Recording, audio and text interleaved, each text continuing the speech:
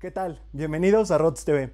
Como parte del mes del orgullo, estamos el día de hoy con Castiel, quien nos va a hablar un poco del drag y, por supuesto, me voy a draguear yo mismo. Bueno, Cas. Espero que les guste este video. No se olviden de suscribirse y darle like al final y comenzamos.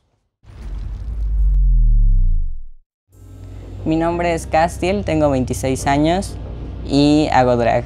Para mí el drag es una manera de combinar danza, música y actuación de una manera en la que podemos expresar tal vez otra identidad de género que no es la del día a día, que incluso puede tener un mensaje más profundo de justicia social. Y también es una manera de celebrar quiénes somos y todo lo que podemos llegar a ser si nos lo proponemos.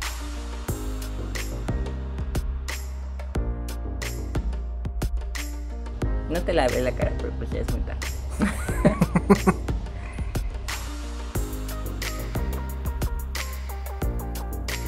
Creo que algo o el motivo por el cual me animé a hacer esto es porque de por sí siempre he encontrado a través del arte, pero sobre todo a través del maquillaje, el poder de transformarme, poder hacer un performance de algo que no soy o que soy pero está en otros lados. Me acuerdo que en la primaria y secundaria en mi escuela había algo que se llamaba el día del disfraz y mi mamá siempre me hacía disfraces súper producidos. Creo que la primera vez que me metí toda la cara fue porque mi mamá me vistió de árbol. y me pintó todo rojo y me dio hasta las frutitas de... ¿Te acuerdas de los dulces de frutita que vendían así para... Qué fantasía. Dáselos a tus amigos.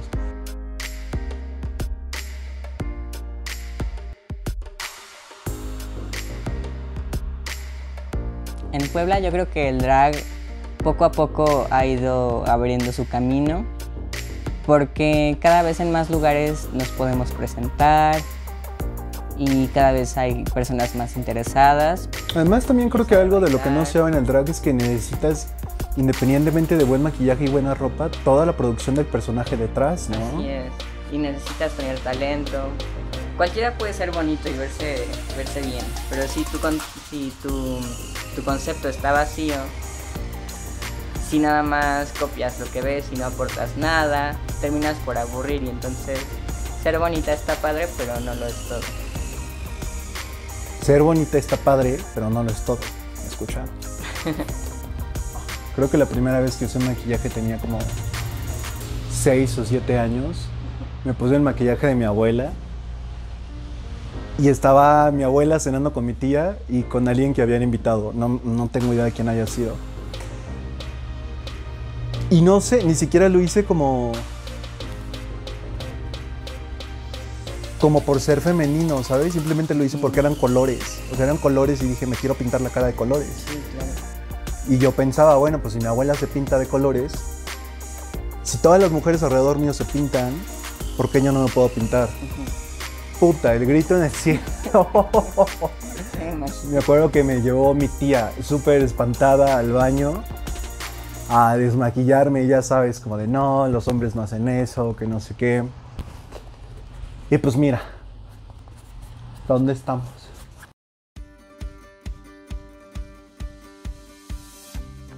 Hay una gran parte de, de la gente que cree que hacer drag significa verte bien cuando no necesariamente hay solo un modo de hacer drag.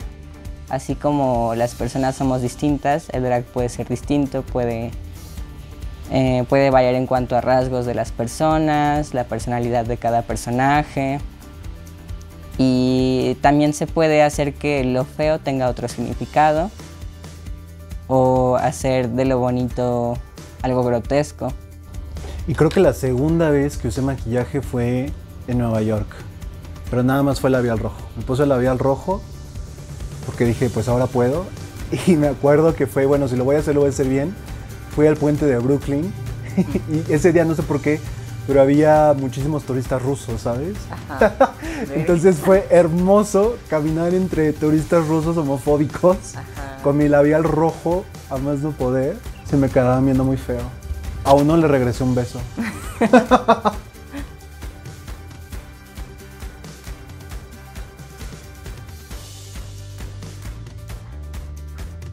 Puebla, aunque sí hay y nos va bien, todavía nos queda mucho por hacer.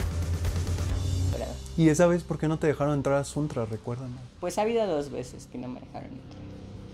Una, pues discriminación normal. bueno, yo creo que las dos veces fue discriminación. Realmente siento que si te quieres, o sea, si eres gay y te quieres divertir en Puebla, es mil veces mejor que vayas a la vida nocturna del centro de Puebla que a Cholula. Sí, que te busques algún show drag, aunque sea más chiquito, pues el ambiente es distinto. Por ejemplo, Vagina de luego está en Secret, en, ahí en el centro, pero todo se disfruta. Ahí sí depende de qué es lo que busques.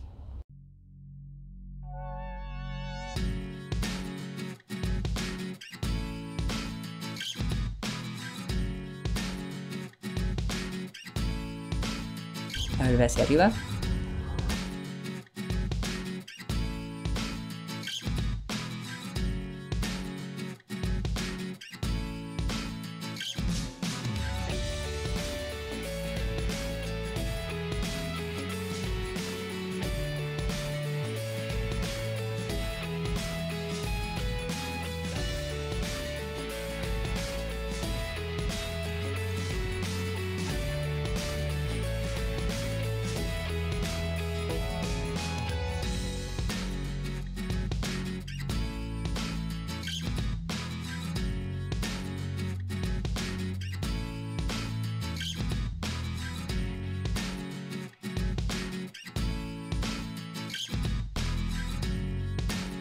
Este es el resultado después de dos horas más o menos. Creo que sí, todavía no sabemos. Ya, ya que sepas lo pones. Ajá, pero nos tardamos un rato. Se tardó. Amigos, de verdad, vemos el talento del artista aquí cañoncísimo. Sigan las redes sociales. Pues comparten nuestras redes sociales para que... Ah, o ah, las pues profesionales, para que vean tu trabajo. Bueno, en la personal pongo todo lo de música, diseño. En general pongo todo que es castiel.melmot con th al final.